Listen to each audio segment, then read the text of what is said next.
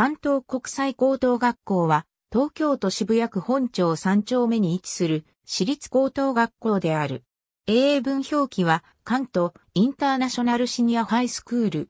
略称は関東あるいは赤国があるが、前者が一般的である。1924年4月に松平浜子により関東高等女学校として創設。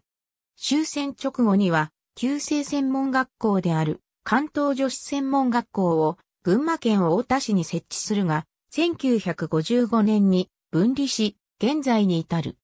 なお、分離した女子専門学校は、学生改革を経て、関東短期大学、関東学園大学として、現在に至る。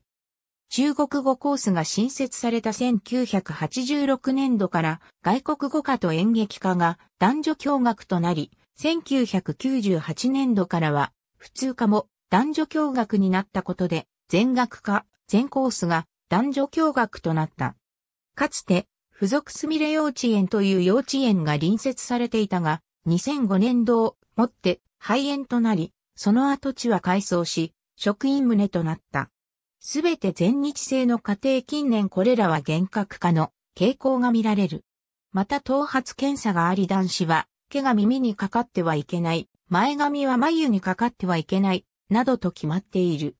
千葉県勝浦市沖津に広大な研修施設があり、年2回ここで選択プログラムやボランティア活動などの研修をする。学園祭はインターナショナルフェスティバルと呼ばれる。海外から学生が集まること以外はごく普通の文化的な学園祭である。さらに、一年を機にワールドスクールというイベントが同時開催される。